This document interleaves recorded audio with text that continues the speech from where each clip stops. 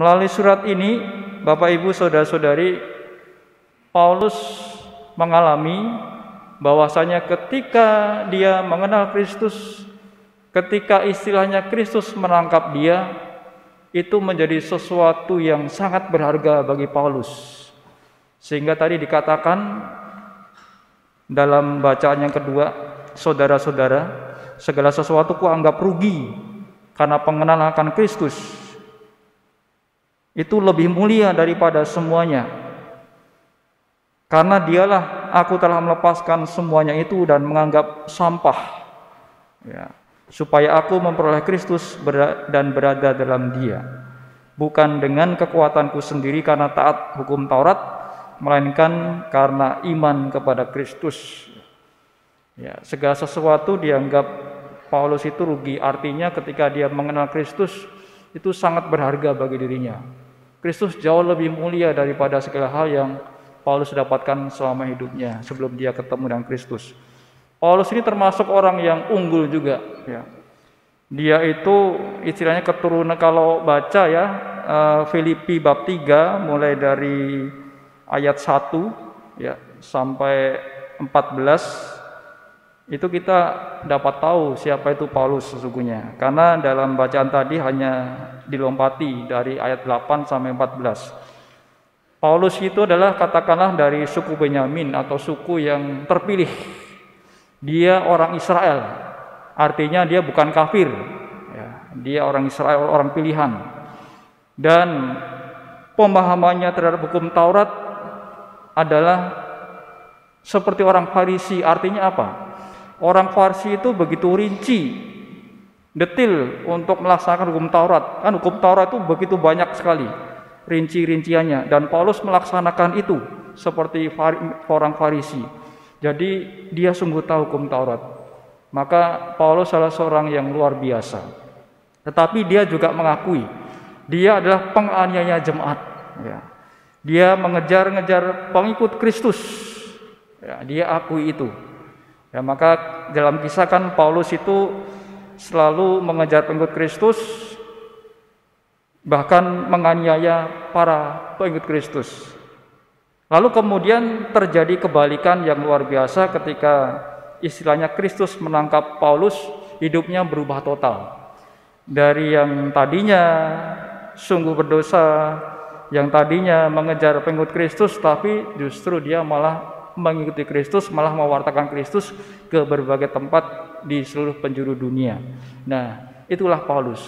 Dia melihat tadi dikatakan segala sesuatu kuanggap sampah.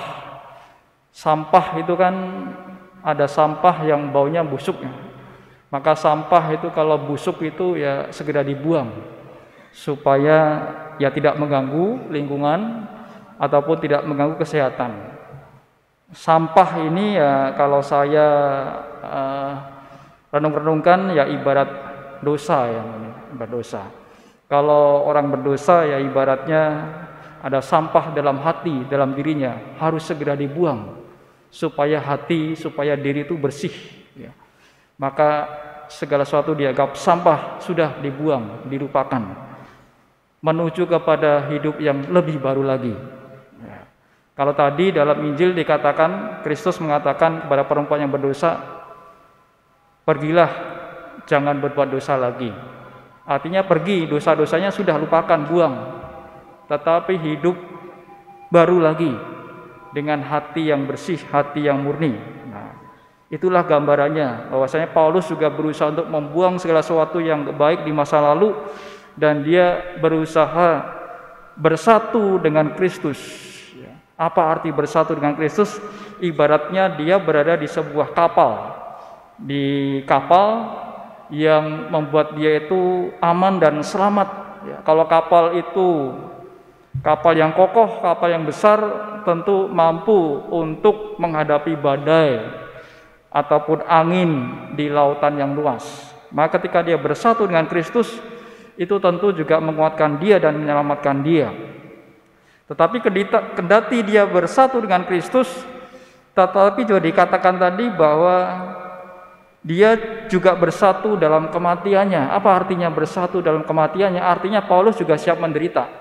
Ketika dia menerima Kristus, bersatu dengan Kristus, dia kemudian tidak menjadi aman dan nyaman, tetapi dia justru siap untuk menderita dan terbukti. Paulus itu mau menderita, harus pergi dari kota satu ke kota lain, mungkin ditolak juga, bahkan mungkin dianiaya. Itulah penderitaan Kristus supaya seperti Kristus sendiri juga menderita di kayu salib. Ketika hidup di dunia, Kristus juga menderita. Nah, maka Bapak Ibu Saudara-saudara, ketika kita menjadi pengikut Kristus, tidak cukup kita hanya mau enaknya saja ya. Menerima Kristus lalu jaminannya memang hidup kekal, selamat. Tetapi harus juga mau untuk ikut menderita seperti Kristus juga menderita. Penderitaannya pasti macam-macam ya. Macam-macam penderitaannya yang kita alami ya, mungkin sakit, mungkin ditolak, mungkin disingkirkan dan segala macamnya. Bapak Ibu Saudara-saudari selain itu yang dialami uh, Paulus, Paulus tadi juga mengatakan, aku melupakan apa yang telah di belakangku dan mengarahkan diri kepada apa yang ada di hadapanku. Aku berlari kepada tujuan untuk memperoleh hadiah yaitu panggilan surgawi. Nah, Paulus melupakan segala sesuatu yang sudah di belakangnya dan berusaha mengarahkan diri kepada sesuatu yang ada di depannya dan istilahnya berlari kepada tujuan untuk memperoleh hadiah yaitu panggilan surgawi. Itu yang dikejar Paulus.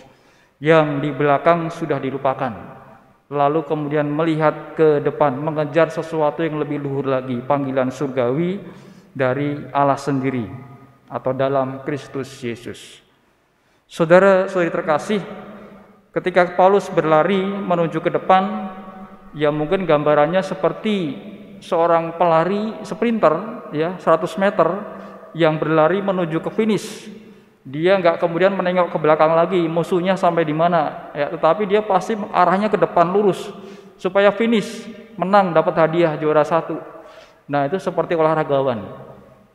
Gambarannya kayak gitu mungkin ya. Nah, Paulus juga berusaha melupakan yang lalu-lalu, tetapi dia berusaha mencapai sesuatu yang lebih luhur, yaitu panggilan surgawi dari Allah.